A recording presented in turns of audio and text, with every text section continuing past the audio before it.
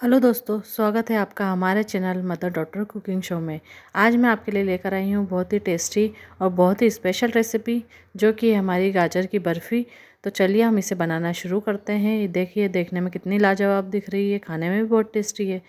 तो यहाँ मैंने आधा किलो के करीब गाजर ले ली है, जिसे मैंने अच्छे से धोकर और कद्दूकस कर लिया था। इसका पानी हमने बिल्कुल अलग कर लिया था, इसे थोड़ा सूखने दिया।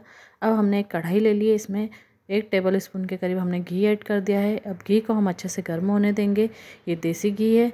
जैसे ही घी गर्म होगा, इसमें हम ये गाजर जो कद्दूकस कर रखी है, इसमें ऐड कर देंगे और इसे अच्छे से चलाते रहेंगे। इसे हमें अच्छे से पकाना है ताकि इसका जो एक्स्ट्रा मॉइस्चर है, वो पूरा ख़त्म हो जाए। जो नेचुरल मॉइस्चर है, वो पूरी तरह से अच्छे से सूख जाए। थोड़ा हम इसे ढककर पका लेंगे, जिससे कि ये जल्दी पक जाए। तो यहाँ मैं इसे लो फ्लेम पर ढककर पका लूँगी और बीच बीच में चेक करती जाऊँगी। अब मैंने कुछ ड्राई फ्रूट्स ले लिए हैं तो उन ड्राई फ्रूट्स को अच्छे से कट कर लूँगी। आप देख सकते हैं, गाजर हमारी अच्छे से पक चुकी है। अब हमने गैस की फ्लेम को बंद कर दिया है। अब एक प्लेट आप ले लीजिए, जिसे अच्छे से ग्रीस कर लीजिए, देसी घी से। अब हमने यहाँ पे आधा कप पानी ले लिया है और एक कप शक्कर ले लिया हमने। उसे अच्छे से हम चाशनी के फॉर्म में आने देंगे, गैस की फ्लेम को चालू कर देंगे और उससे अच्छे से पकने देंगे। अब हमने कुछ आठ से दस इलायची ले ली थी, उसको हम अच्छे से एक पाउडर फॉर्म बना लेंगे उसके दाने अलग कर कर। ये हमारी चाशनी भी रेडी हो रही है और साथ ही हमारे ड्राई फ्रूट जो हमको इसमें ऐड करना है, वो भी तैयार हो रहे हैं। तो यहाँ मैंने जो गाजर पकाई थी, उसमें मैंने ये इलायची को अच्छे से मिक्स कर दिया है। अब मैंने यहाँ पे एक तार की चाशनी ले ली है। ये देखिए, चाशनी हमारी अच्छे से मिक्स हो रही है। अब मैंने 200 ग्राम के करीब इसमें खोया ऐड कर दिया है।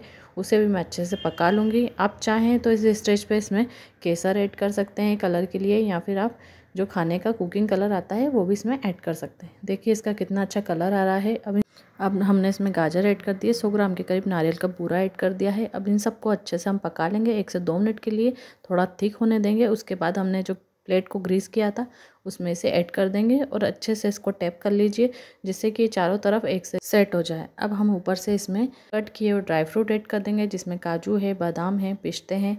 आप आपकी पसंद से जो भी ड्राई फ्रूट आपको पसंद हो, वो सब इसमें ऐड कर सकते हैं।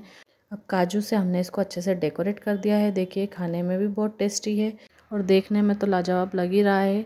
इसे अब हम सेट होने देंगे क्योंकि इसमें जो हमने देसी घी ऐड किया है, वो थोड़ा गर्म होता है उससे सेट होने में टाइम लगता है तो इसे हमने ओवरनाइट के लिए सेट होने के लिए रख दिया है। अब ओवरनाइट के बाद हम इसे चेक कर लेंगे तो ये देखिए अच्छे से सेट हो चुका है और अब हम इसे इस तरह से कट करके सर्विंग कर देंगे।